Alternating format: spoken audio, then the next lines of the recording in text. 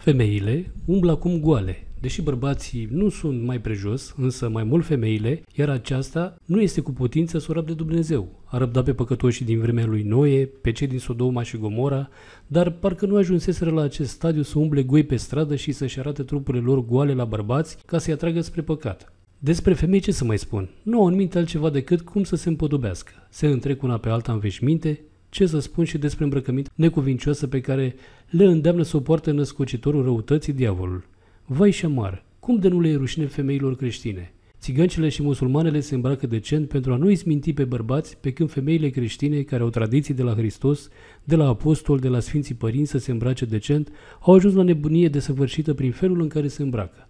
Tații și mamele să fie pilde bune și să nu-și lase copiii, povățuindu-i cu iubirea de Dumnezeu, să se îmbrace necuvincios – iar bărbații să le ferească pe femeile lor de îmbrăcămintea decentă, căci vor da socoteală în ziua judecății.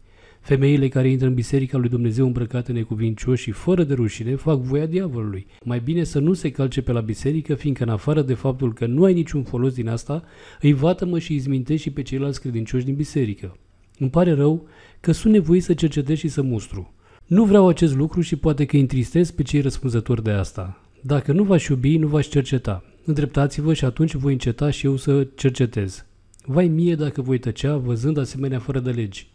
Într-o carte veche pe care am găsit-o cu mulți ani în urmă, am citit printre altele că atunci când ucenicii l-au întrebat pe Domnul nostru Isus Hristos când se vor întâmpla în lume semnele înfricoșătoare ale celei de-a doua veniri, când dragostea multora se va răci și credința va pieri, Domnul le-a spus printre altele, atunci când femeile vor deveni bărbați și bărbații femei. Și Sfântul Ioan Gură de Aur, atunci când niște creștini l-au întrebat când va fi a doua venire, le-a răspuns, când rușinea femeilor va dispărea, atunci ziua judecății va fi aproape. Aceste profeții ale Domnului nostru Isus Hristos și ale Sfântului Ioan Gură de Aur și ale altor proroci, apostoli, sfinți părinți despre care am vorbit mai devreme, se împlinesc astăzi cu precizie. Ca părinte duhovnicesc am îndatorirea și responsabilitatea să-i povățuiesc pe fiii mei. Te povățuiesc deci ca de aici încolo să încetezi a-ți mai vopsi buzele, unghiile și fața și să rămâi cum te-a zidit Dumnezeu. Nu-ți dori să devii mai presus de Dumnezeu, fiindcă atunci când te vopsești cu culori roșii, îl hulești pe Dumnezeu. E ca și cum ai spune, Dumnezeu n-a știut sau n-a putut să mă facă cu buze sau unghii roșii și ceea ce n-a putut să facă Dumnezeu voi face eu, ca să par mai frumoasă, să mă admire și prețuiască bărbații și femeile fără minte și să-mi spună că sunt femeie fermecătoare, modernă, nu înapoiată. Însă în felul acesta îl întristez pe Dumnezeu și pe mine, părintele tău duhovnicesc și pe toți oamenii cu minți și cu frică de Dumnezeu și bucur pe diavol și pe oamenii neînțelepți, bărbați și femei.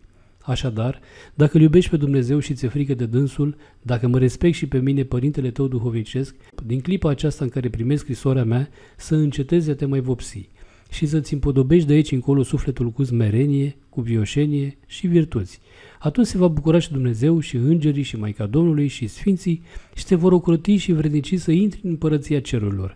Însă dacă vei urma moda și te vei lua după femeile moderne, ca acum, când le imiți vopsindu-te, le vei imita și la fumat, și la jucat cărți, și la altele, care sunt scârboase chiar și când le amintește cineva.